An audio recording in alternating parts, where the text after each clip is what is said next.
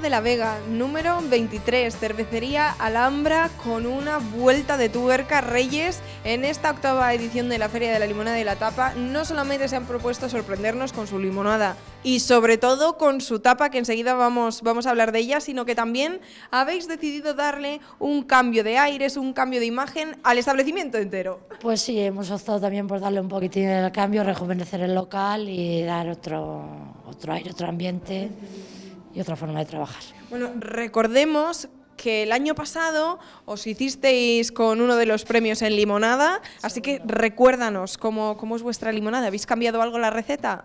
Bueno, muy poquito, muy poquito. Salió bien el año pasado y este año, bueno, pues procuras personalizarla un poco más, pero no, la receta sigue siendo la misma.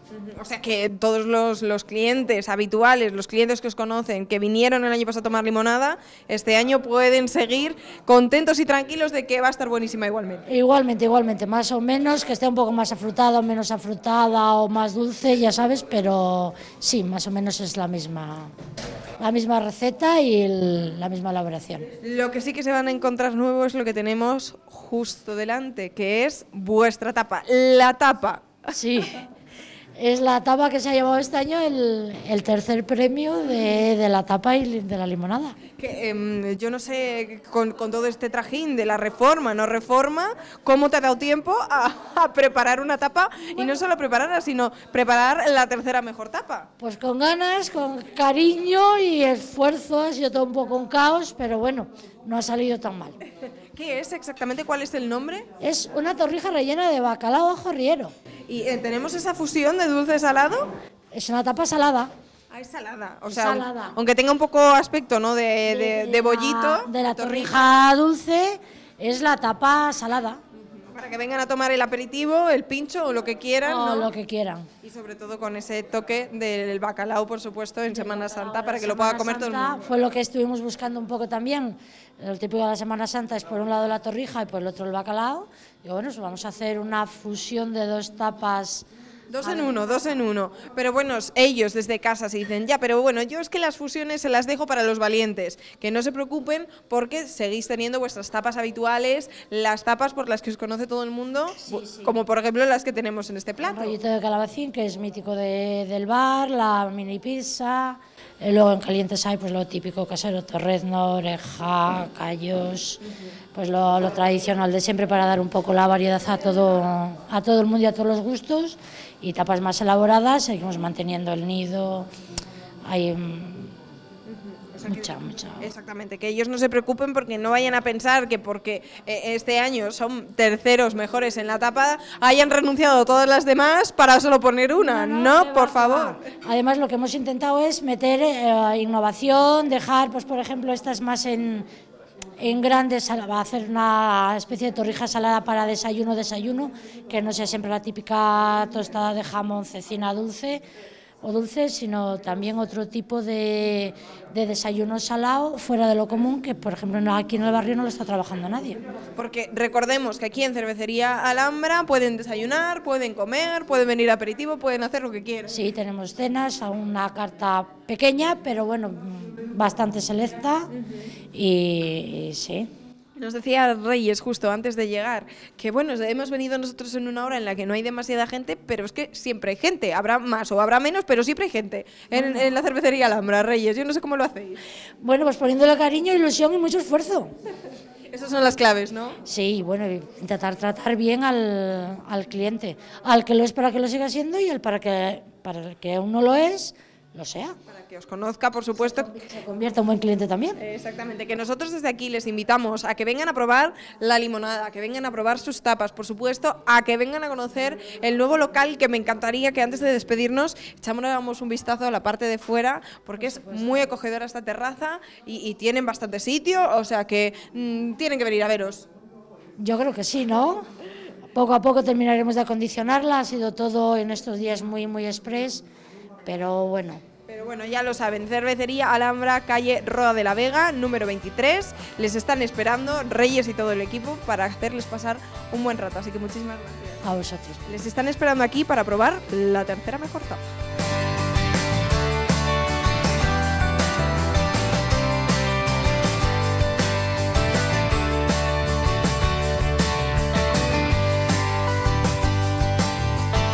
Seguimos de limonadas y tapas, seguimos en nuestra octava feria y ahora nos detenemos en Mamatere, en el corazón de la capital leonesa, en la Plaza Mayor número 26. Alexander, bueno, es uno de los sitios de referencia a la hora de ir de, de tapas y de limonadas. Lo cierto es que sí, este año además hemos intentado sorprender un poquito, ya que vamos con cierta tendencia por las carnes.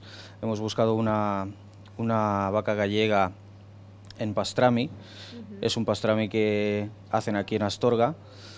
Y bueno, hemos intentado darle una vuelta y ponerlo de tapa con una burratina, un, un cherry asado y un toque de rúcula. Y bueno, eso para acompañar la limonada, que es bastante dulce, bastante afrutada. Y bueno, a ver si se acercan y la prueban. Bueno, vamos, vamos a ir por partes. Permíteme que recupere un segundito la tapa, porque sí que es verdad que si algo os caracteriza aquí en Mamatere es que siempre buscáis no solamente ese juego de sabores, sino que también sois delicados a la hora de la presentación. Bueno, ya que se trata de una, de una tapa elaborada, pues claro que hay que intentar un poco dar el, el toque de atención, ¿no? ¿Esta tapa habitualmente la tenéis o, o quien quiera probarla tiene que pedirla expresamente? Tiene que pedirla expresamente, porque no es una tapa que, que vayamos a tener expuesta, sino que más bien la elaboramos al momento para que, para que su calidad no, no baje, claro. Pero bueno, es que tienen las de las de siempre. Si eh, ellos en lugar de venir a probar esta quieren venir de, de limonadas y con las tapas habituales también pueden hacerlo, ¿no? Por supuesto, además nos empeñamos siempre en, en cocinar para todos los públicos, dado que tenemos todas las tapas normalmente eh, aptas para celíacos, por lo cual también es una ventaja. Nos centramos un poco en la tapa del arroz, sobre todo, y en la tapa vegetariana. Por supuesto, para que ustedes vean que tienen un, reper- un repertorio para que todo el mundo pueda venir y disfrutar de, de esos ratitos que a veces nos escapamos de, de limonadas y de tapas. Vamos a volver con, con la limonada ahora. Me- la voy a coger para ver. Oler huele de maravilla. Y dicen que cuando huele bien mejor sabrá, ¿no? Claro. Nos decías que esta es un poquitín quizá más dulce de lo que nos podamos encontrar habitualmente. Sí, tiene un toque a lo mejor dulce de más para algunos gustos y tiene un toque bastante alto de canela también. Bueno, pues eh, si ustedes quieren comprobar, ¿no? Si, efectivamente les resulta un poquito más dulce o, o con este toque un poquito más, mm, más fuerte de canela, yo les invito a que vengan y, la prueben. Pero ¿cuándo pueden venir a probar estas limonadas, estas tapas? ¿Cerráis algún día durante la Semana Santa? Por supuesto que no. Abrimos sobre las 12, 11 y media de la, de la mañana y estamos básicamente 12 horas seguidas o 14 o las que hagan falta aquí, Hasta que se vaya el último, ¿no? por supuesto. Desde mediodía aproximadamente hasta que, como decimos, se- sea medianoche prácticamente, pueden ustedes venir a degustar las limonadas, las tapas o otra ta- otras tantas bebidas, por supuesto, cafés. Aquí pueden encontrar absolutamente de todo y lo que pueden encontrar también es un comedor en el que nos encontramos ahora mismo, en el que degustar, bueno, pues platos estupendos que vosotros elaboráis y que además os vais estrujando la cabeza para sorprender a todo el mundo. Así que ya lo sabéis, en Mamatere, en la Plaza Mayor de León, en el número 26, os están esperando para sorprender vuestros paladares.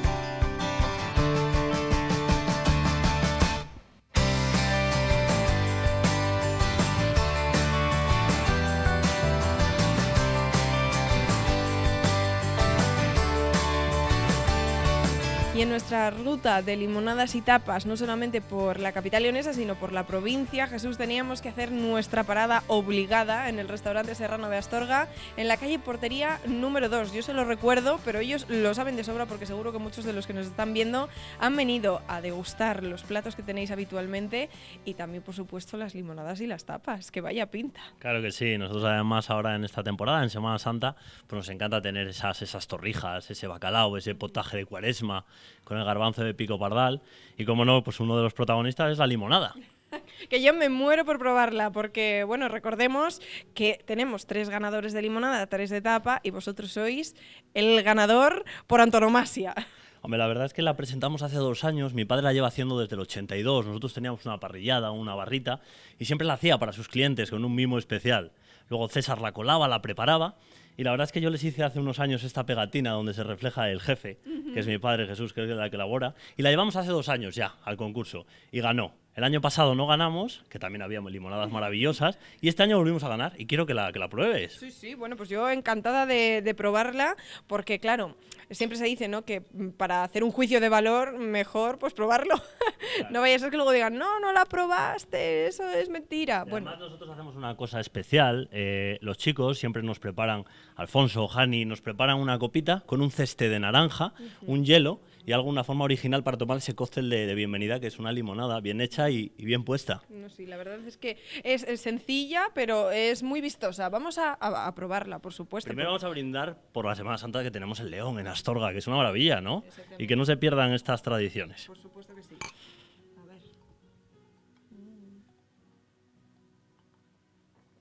Lo tienes que decir tú. Está que te mueres de buena. Me encanta. Sí que es verdad que está buenísima, buenísima, buenísima. Además, yo les invito a que la prueben porque en esta limonada se notan algunos matices muy interesantes. No se los voy a contar. Mejor que vengan y la prueben.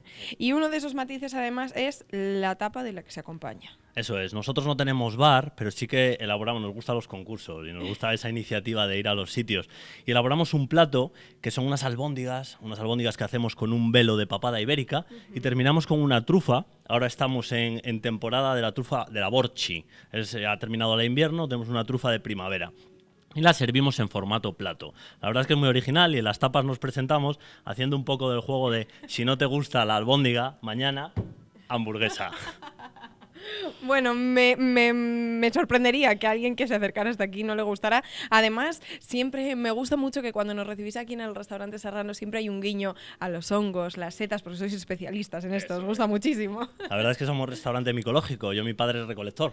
Siempre lo ha sido, entonces nos inculca a todos ese cariño por las setas de temporada. E intentamos tener durante todo el año pues esas, esas setas. Ahora estamos un poco escasos porque es verdad que nos ha llovido, están llegando las primeras lluvias y esperamos dentro de muy poco tener esos perrechicos, esos boletus de temporada, pero bueno, poco a poco. Y em, dices que hay poquito, pero de momento si se acercan hasta aquí, no solamente a degustar vuestra limonada y esta tapa espectacular que tenéis, sino a comer aquí con vosotros, pueden degustar platos exquisitos igualmente. Es, Ahora estamos con la caza, tenemos una perdiz estofada con setas muy rica, hacemos unos huevos trufados con la tuber borchi, que también está fenomenal, y luego invito también a probar los garbanzos de pico pardal que cocemos, que mimamos con garbanzos con pulpo. ¿Todos los días de la semana pueden venir a veros o hay algún día Todos que los os cogéis de días, y luego descanso? cogemos fuerzas para descansar el domingo noche y el lunes descansamos. Entonces, este día aprovechen para no venir, vayan a otros lugares de la provincia o de la capital leonesa donde pueden ustedes degustar limonada y tapa, pero desde el martes hasta el sábado, hasta el domingo al mediodía pueden Aquí venir estamos. cuando quieran al restaurante Serrano. Aquí estamos, encantados de, de recibiros con una buena limonada y de postre una torrija de mamá Telvi. Bueno, el menú completo. Y antes de despedirnos, Jesús, voy a aprovechar porque con lo rica que está vamos a brindar otra vez. Echar, Pues por el restaurante Serrano y la Semana Santa en Astorga. eso es.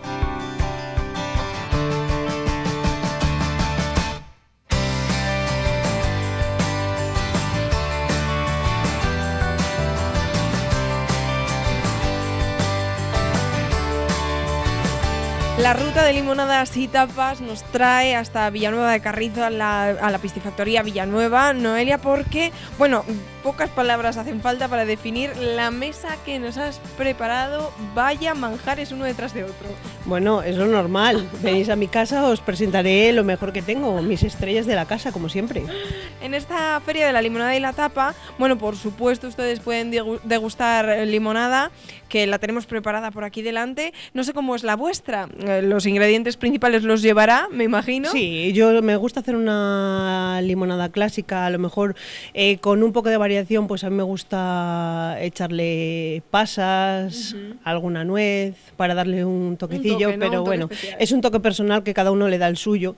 Y la limonada es una cosa muy, muy personal, entonces, bueno, a mí me gusta así y por eso, por eso lo hago así. Bueno, aquí todo es muy personal. Aquí eh, em, yo me atrevería a decir que cualquier plato, cualquier producto que prueben no lo van a encontrar en igual en ningún otro sitio.